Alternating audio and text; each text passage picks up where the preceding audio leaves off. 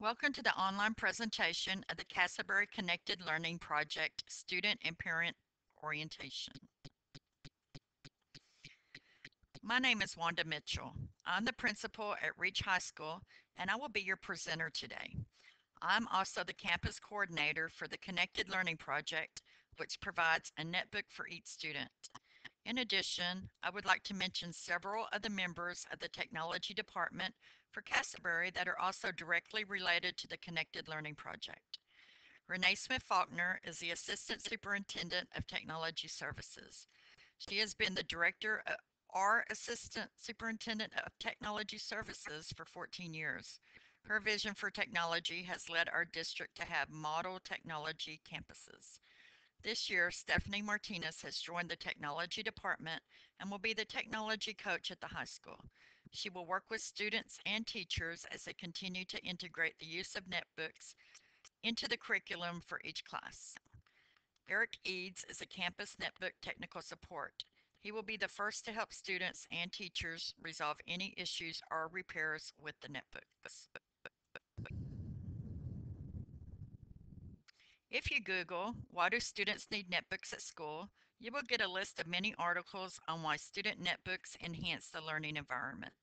On this slide, you see one example.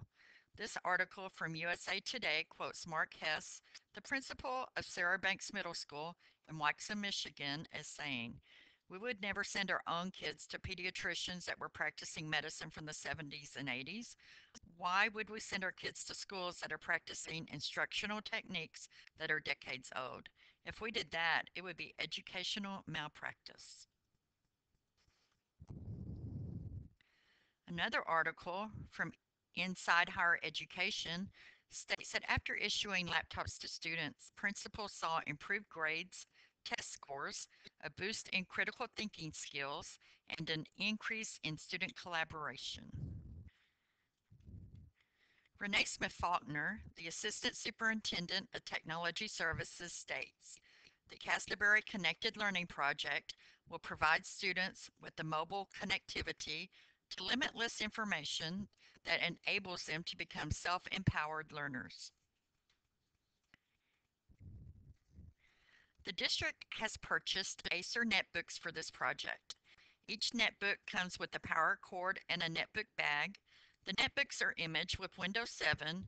Each have an integrated webcam along with Skype software for collaboration, Office 2013 application software, including OneNote, Adobe Creative Cloud applications, a variety of internet browsers, including Safari, Internet Explorer, and Firefox, and a wireless card so that students can connect to the CISD network, a Wi-Fi connection at home, or any other Wi-Fi hotspot.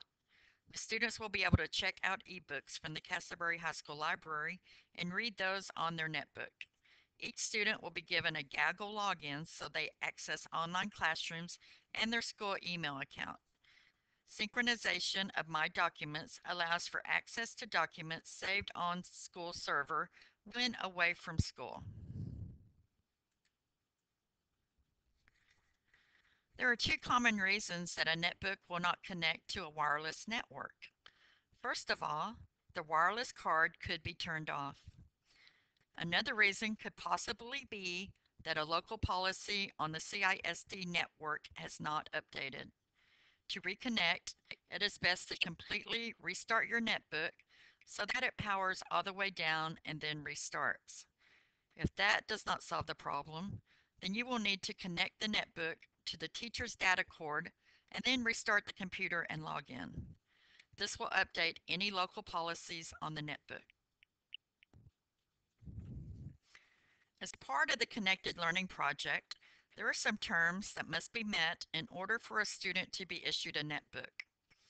First, Students and parents must participate in the netbook orientation either at one of the designated meetings or by watching this online presentation.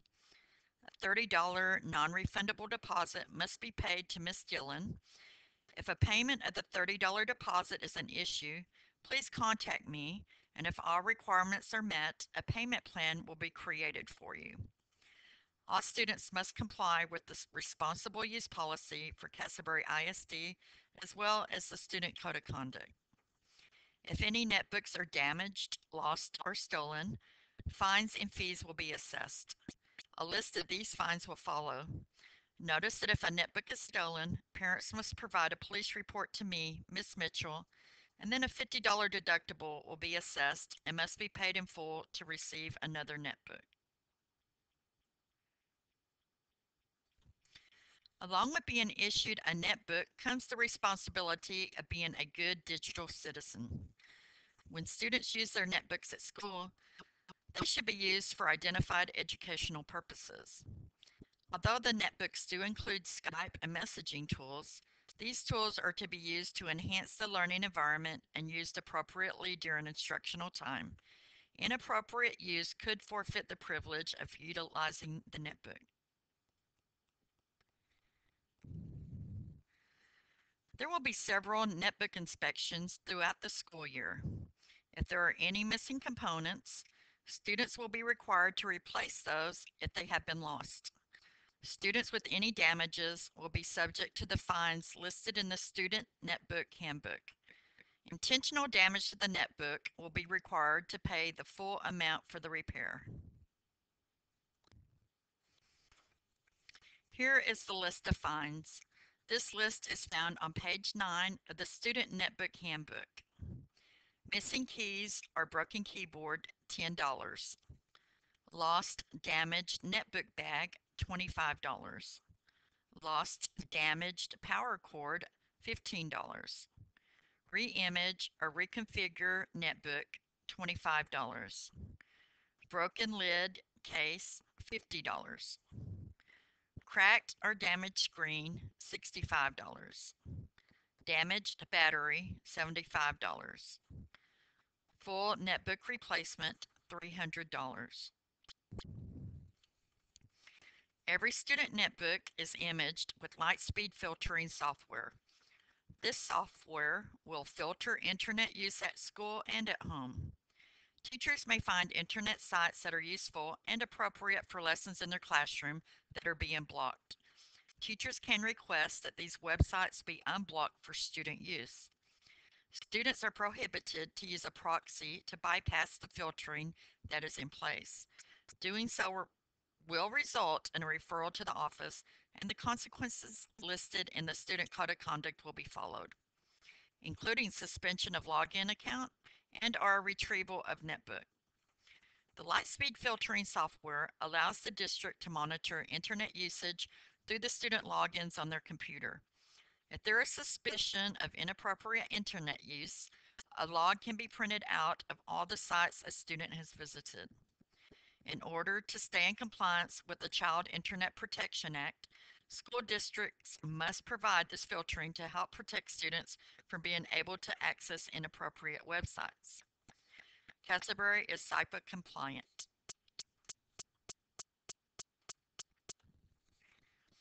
Are several items that students are responsible for. Students must bring their netbook every day to school and must be carried in the netbook bag provided. All labels on the netbook, bag, and power cord must stay affixed. Students must not loan their netbooks or components to anyone. Student must bring their netbooks with the battery charged. Teachers will have an extension cord in the classroom that can be used if a battery happens to go dead toward the end of the day. Netbooks and power cords are each assigned by a serial number. When netbooks are returned at the end of the school year, serial numbers will be checked. Report missing netbooks or components to me, Ms. Mitchell, immediately. If the netbook is stolen, a police report must be provided by the parent to document evidence of theft. If the netbook is deemed intentionally damaged, the student is responsible for the cost of the repair or replacement. Students must clear fines in the office with Ms. Dillon within 30 days.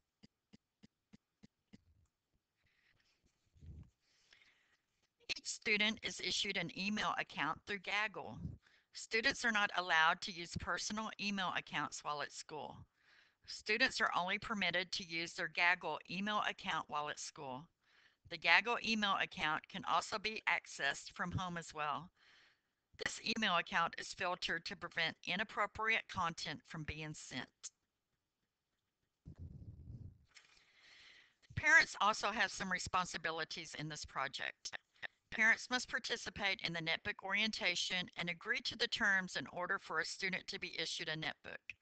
Parents are also responsible for monitoring student use of the netbook at home.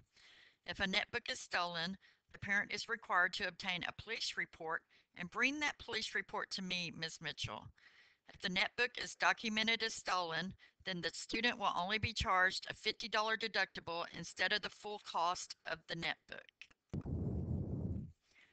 On the CISD website, there is a link to the Connected Learning page. You can obtain a copy of the Student Netbook Handbook and a list of frequently asked questions. To access this website, go to the CISD webpage and under the student link on the menu list, click on Connected Learning. On the Connected Learning website, you can download a copy of the Student Netbook Handbook and also a copy of the signature page on the back of the handbook. Both the student and the parent must sign the signature page upon completing this presentation. The form should be returned to the main office at Reach High School. The $30 non-refundable deposit should be paid to Ms. Dillon in the main office. If you have any questions, please email me and I will get the answers for you. Remember to sign and return the signature page on the handbook as well as pay the $30 non-refundable deposit so that your child can be issued their netbook for the school year. Thank you for watching this presentation about the Connected Learning Project.